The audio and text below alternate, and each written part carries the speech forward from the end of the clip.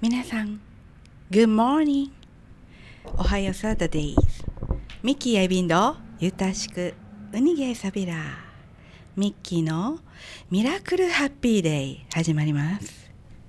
えー、本日はですね、まず、えー、レイカさんが、うん、先週ね、土日でしたか、はい、中部商業の中小祭っていうのよね。中小祭。うん。中小祭が行われましたのでね。そのお話を伺いましてその後は、えー去ったあ木曜日10月20日に行われた私のライブえー歌謡カラオケのね、あのメンバーの皆さんのパーティーですね。パーティーのお話をさせていただきたいなと思います。それではレイカさんよろしくお願いします、はいと三年はあの、はい販売をしたんですよ。お店出して。はい。で自分なんかのグループは、うん。わたあめわたあめ。美味しそう。やったんですけど、はい。このわたあめめっちゃ湿気に弱くて、うん。でも初日は雨が降ってて湿気めっちゃ高くて、外でテント張ってやったの？うん中なんですけど、うん。もう湿気で全部わたあめ溶けて、え売り物にならなくて、えー。もう赤字です。えーそうだったの？赤字。えっとっていうかこの機材というのは借りてくるの？このあわたあめの。借りてくるとこもあるしでもデカなんか買ったんですよ、え？借りるよりうん。買った方が安かったんで、あそうなの？どあの大きいやつ？あの普通の業務用のやつを買ったんですけおどーいくらぐらいするの？ちなみに。全部合わせてうん。3万7千円くらいなんで、結構するね。そうだからもう、うん。その分売り上げ出さないといけなかったんですけど、うん、溶けるし。うん、そうだったの、でもわたあめじゃなくて片飴で。塊で売,、売ればよかったかな？でもうん楽しかった、った。で2日目は？どうだった？2日目はまた同じ綿目売るんですけど、2日目もう超最悪で、ね機械が壊れて導線が切れてええもう作れもしなかったっていう、そんな簡単に切れるの？びっくりしましただから。3なん万4万かけて。中古中古だったの？違う分かんないです、新品なのに？うん、ええ切れちゃった。でも高野菜とか楽しかったんで、うん。いいかな。そっか。わたあめだけじゃないんでしょ、うん。でもいろいろ売ってたんでしょ、うん。いっぱい何？焼きそばとか？焼きそば？なんかホットドッグホッとかトドッグか。スープもあったし。スープもあったの、うん。何のスープ？なんだったかクリームスープとか？なそんな感じそんなで感じの？あとはデザート系とか。うん。そばとかジューシーもありました。だから子供かうん。ら年寄りまで楽しめるみたいな、えー、そうだったの、もう本当にね私も行きたかったんだけど。ごめんね。もういろいろあってうん行けなかったんですけどえー、そっか。じゃあもう一つの屋台みたいな感じ、うん。あのクラスでやったの？それとも全体で？3年生全体、3年全体でやって。で教室全部使ったの？教室っていうか下に食堂があるんですけど、うん。この食堂を使って、うん。なん何点かな？30くらい。おお30あったかな？30くらい。店舗があったの？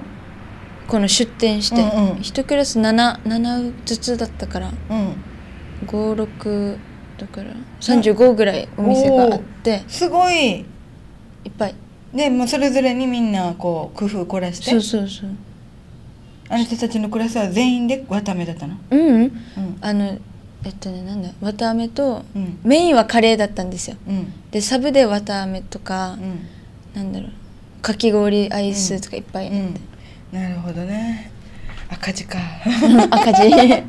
先生はね大学の時にね音大音楽大学でね、あの私ディスコサークルやって、うん。そんなのあるんですか？部長だったの。ないよないよね作ったね であの IB, IB こうダンスって IB ダンスって昔あったわけね、うんうん。あのそあのタケノコ族とかそういうあ。なんとか族とかいうのが流行ってた、あの不揃いのリンゴたちとかがうんうん。流行った時に先生大学生だったわけね、うん その時にあのディスコサークルって言って、先生ね新聞にも載ったんだよ、ほう。うん、あのえインド人の格好をして、うん。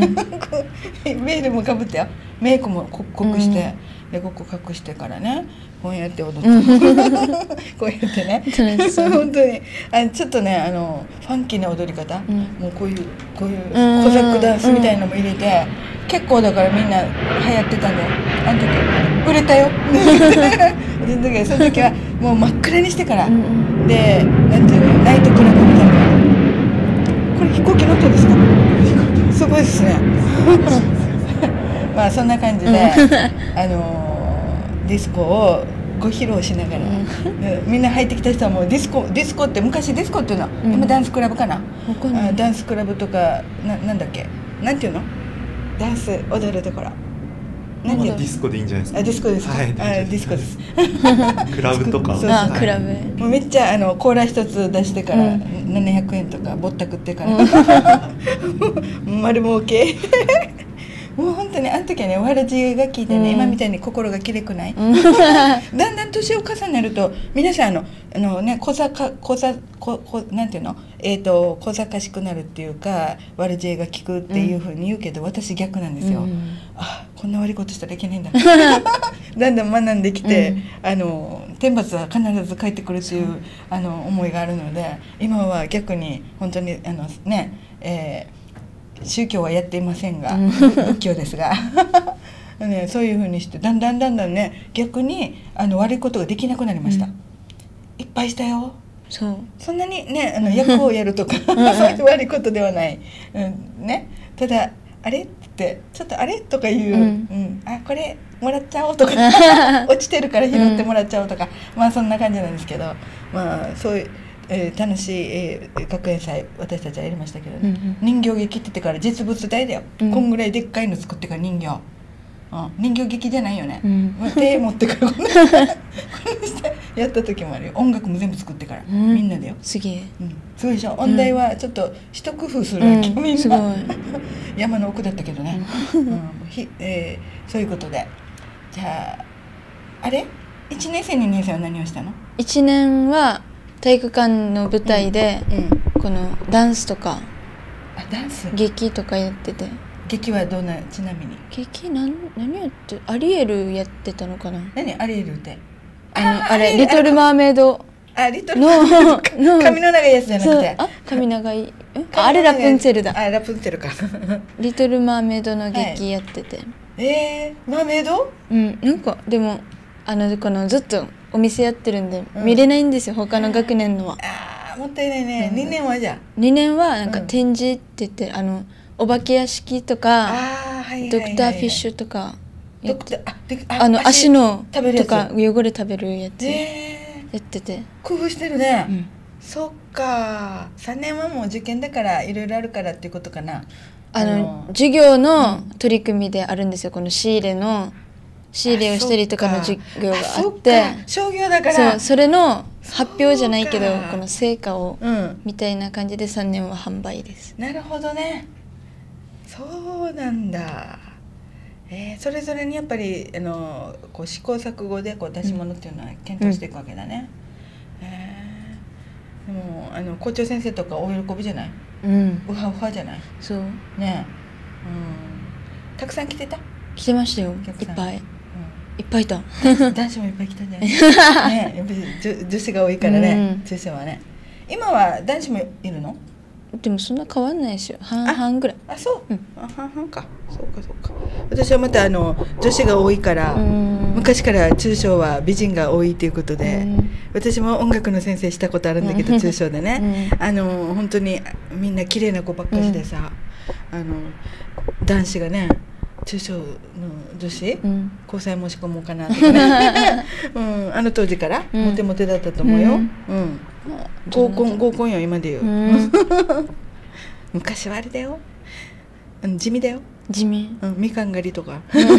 かわいい。可愛いでしょ。可愛いでしょ。本当に。本当にみかん狩りとか喫茶店でみんな集まって飲む,、飲む飲むってお酒じゃないよ、うん。コーヒーとかだよ紅茶だよでケーキ食べて終わり、う そんな感じだったんだけど。今今どんな合コンとか？え合コンってしないですよまず。あしないの、うん。えしそうだけどね高校生だったらバンバン。えでもあ男女で遊びに行くことはあるけど別になんかその恋愛とかじゃないとか。あそうなの？じゃあ先生の時よりピュアだね。結構もう帰りはバイクの後ろに乗せてもらってからってから帰ったりとか。あー足場ではなかったけど、うん。もうなんていうのかな。結構あのうちはあの普天間高校だったんだけどね、うん。普天間高校はねあのー外の男子男性と付き合ううん。中部工業とかうん。ね、那覇とか、うんうん。えーそういう浦添とかのあの男子校がいっぱい申し込みに来うて、ん。で昔はおごりよったのよ。あおごりよった。おごるのおごるの。今割り勘えなんかもう割り勘がいいです。あうんそうなの、うん。今の子はそういうよね、うん。おごられてねそう。なんやかんやしつこくされるよりは割り勘の方がすっきりしていいよはいって、その通り。なんかの時代はね男がおごってなんぼだったから、うねん怖い。その分でも男の人が威張ってたから。あはい、もうねそうそうついてこい。俺についてこい、うん嫌だ。肉食。もうあなたたちがあなたたちの世代からするとうん。嫌だぞ、嫌だ。もう本当上から目線、うん嫌だ。本当に全てが上から目線で私たちはあそうでございます。嫌だ。本当に。無理耐えきれない。耐えきれないでしょ、うん。でも一応選んでたよ、うん。こまあ。の人このあこの人はダメだなとか、うん。うん。だけど本当にあの、えーちょっと危ない思いもしたことあります、うん。クラスのね、えー、と二次会をうちで、うちで？あの教室で音楽教室、うんうん。うんあのうちあの古い時はあの2階建てだったわけね、で上の方はもううちの弟の部屋と私の部屋とそれから広場があったわけちょっとした、うん。それで あのみんなうちに二次会は来るということで、したらあのみんな飲むじゃん、うん。そこではちょっとお酒が出てくるわけね、うん。いけないけど二十歳目ね まだ高校生だからダメよね、だけどねあのちょこっと出たのね、うん。ビールとかね。出てね。そしたらやっぱり酔った勢いというのかな。ね。下はううちの両親が寝てるんだよ、うん。そこの前を通らないとトイレに行けなかったから、ちょっと暗いわけねそこがね。そしたらね陰で隠れて男子がでいたずらだったかもしれないんだけど私後ろから襲われたわけ、うん。襲われてからキスしてキスしてとかもうすごい激しい話してる。言われて朝っすまだうんそしたらあ女子がドドドドドって降りてきて3人ぐらいわからないで降りてきて「何してんの?」って言ってでそれで助かったんだけど、うん。本人曰く「え冗談だよ」って言うけど、うん。あれは本気だな そういうそういう可愛らしい時もあったんです ええと思って。もうえええもう顔こんな こんな感じで、うん、ちっちゃいから、うん。もう遅いやすかったんだろうと思うんだけど。それとかねもういろんなねあの、まあ、ある意味持ってたのかもしれないんですけど、あの時は猫かぶってたから、うん。もうおとなしいあんまり喋らない。お家で言言うんだけど、それをねもうあの学校では静かにしてたわけ。なんでか分からんけど。女子にも男子にもモテたいという野心があった。だけど。だから誤解してから惚れてくれる人がいて。あの結構あのその時はね。やっぱ静かな女子が。そうなんです。今もねあのその同窓会行くでしょ、うん。マドンナだったよって言われるわけ、うん。だったよだよ。過去形。で静かだったからって言うわけ。今みたいに言ったく変たくしなかったからって、そうなの？今が私よって。本当の私よって言ってるんだけど。もうそういうことだ。うん。もう恥ずかしいけどね。レイカさんは彼氏は？ああ一応いるんですけど。えー。一応。でどう何？ん？かっこいい？あ普通です 普通普通そうか、ちょっとショックだ。今、今ね、あの、リスナーの方、ちょっとショック受けてるかもしれないけど、あの、そんなに深い仲ではなさそうなので。可愛らしいね、恋愛なので。はい。ということで可愛ら。しいですということでね、えーそれではね、ここでね、またね、えー先先週の木曜日に行われました、えー私のミニライブと、それから、あの歌謡カラオケの講座のね、受けてくださったうん。メンバーの皆さんがあの来て、えー招き猫でね、うん。レイカさんもね来てもらいました。レイコさんレイカさんはあの私の助っ人という形でねね本当アシスタントという形でね、読んでたんですが ちょっとね学校遅かったね、うん。うん、またねちょっと早く始めたの、えー半4時半からだったんだけど、うん。4時15分でもみんな集まってたので、もう始めちゃいましょうよって言われたので、もうどうせね時間が遅ね、うん長くなるだろうなと思ったのであの始めちゃってたのね、うん。だから、えーちょっとちょっと困りましたいろいろ。あの機材がねあの切り替えが、うん。このカラオケハウス招き猫はあのスクリーンがあってねねうん。えー、と DVD が流せるっていうところが、あのね良くてうん。そこ借りることになったんだけど、まあ、結構ねたくさん入るうん。お部屋だったね、うん、お部屋で皆さんあの楽しんでくださいましたけれどもね。そこで D- DVD で私の絵本、歌い聞かせのねあの動画が流れてね。動画にあの音楽も入れててそれに合わせて私が歌うんですけども、えー、と先週歌いました「りんごの木と少年」でその前に歌いました「ちむどんどん」2曲をあの DVD であの大きい画面に映してあの絵本を読みながら歌うというね、ことをしました。まあ、レイカさんは何回か聞いてるからね、うん。もうもう4回目だもんね、うん。ライブ参加するのね。えーなのでもうレイカさんももう覚えてらっしゃると思いますけれどもね、まあ、そんな感じで、えーそして、えーまあ、内容なんですけどもうん私のオリジナル曲、えーもうに20年ぐらいになるのかな。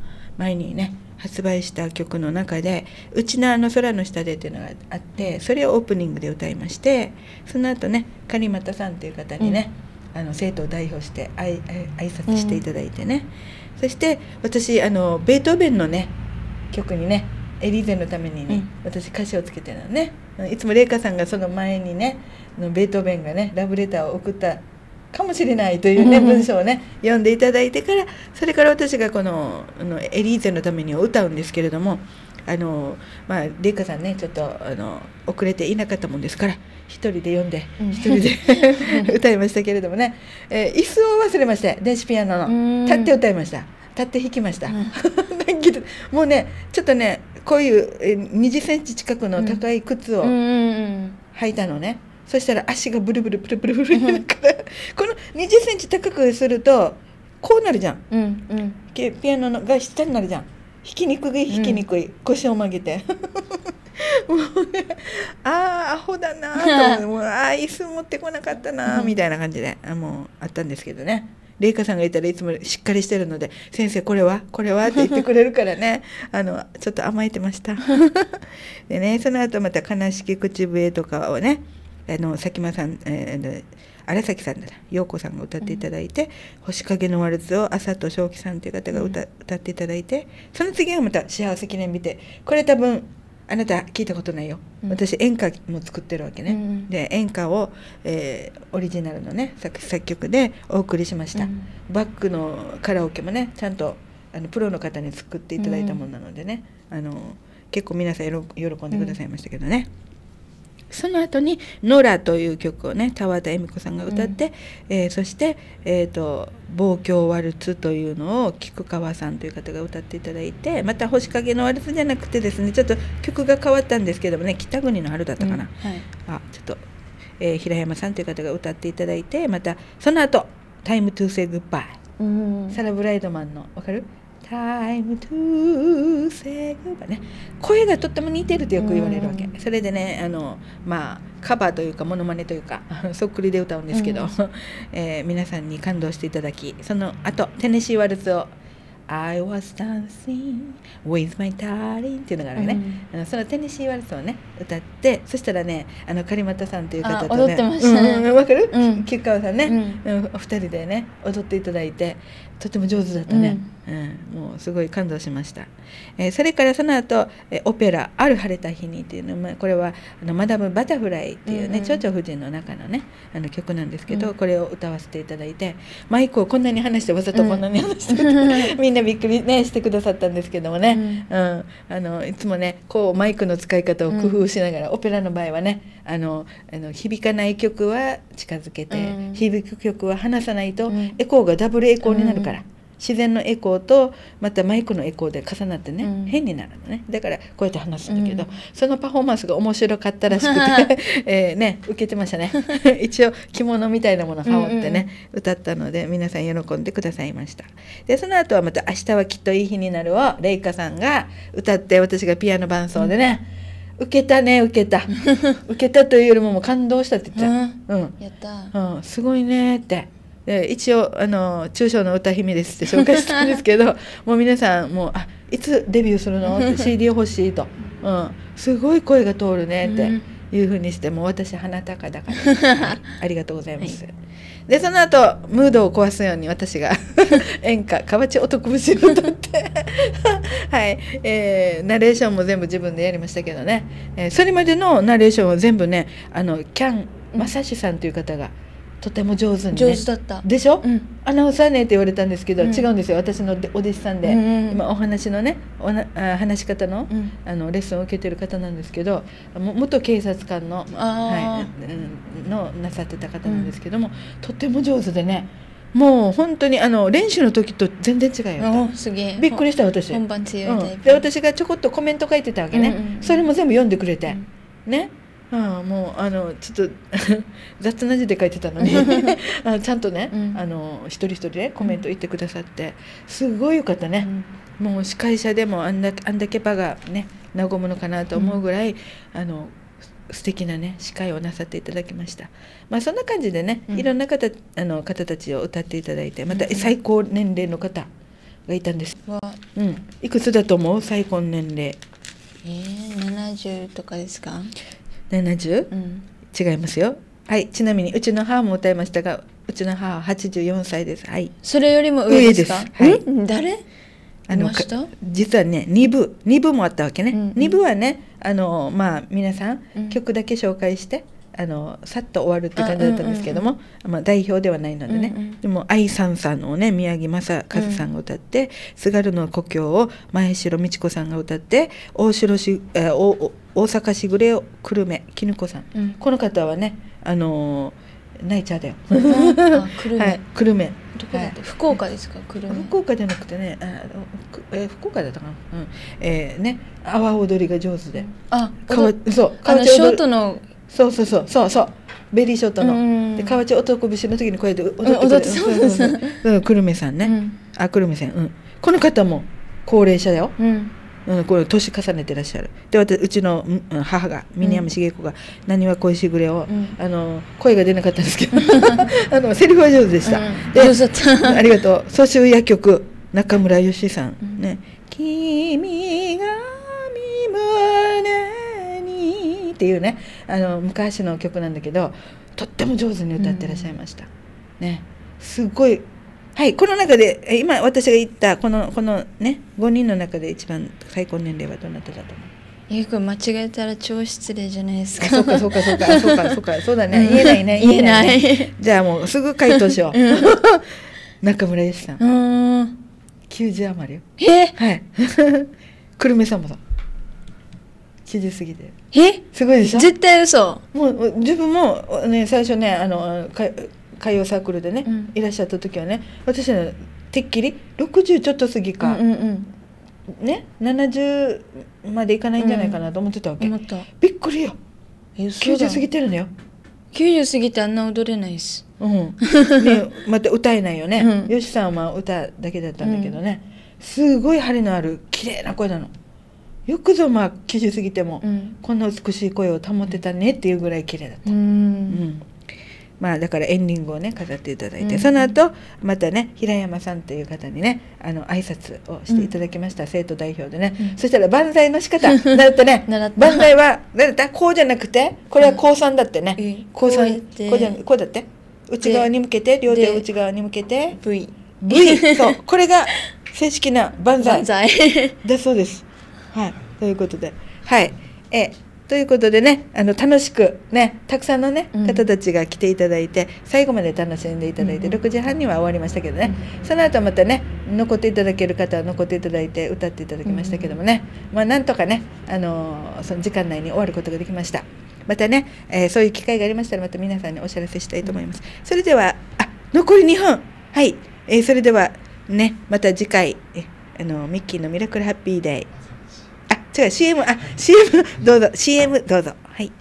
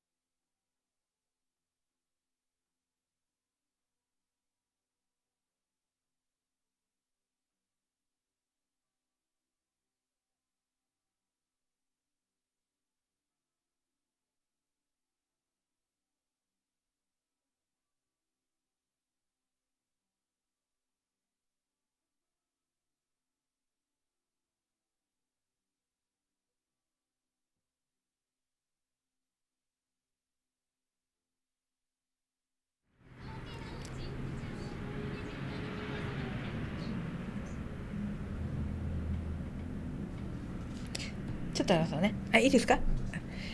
田畑恵美子さんという方とですね狩俣米子さんという方とね、えーまたあの平山さんですね。それから菊川さんね。という形でね、うん。いろんな方たちにねあの支えていただいて、まあ、なんとかねライブは終えることできたんですけど、うん。レイカさん「明日はきっといい日になる」を歌った時の反省。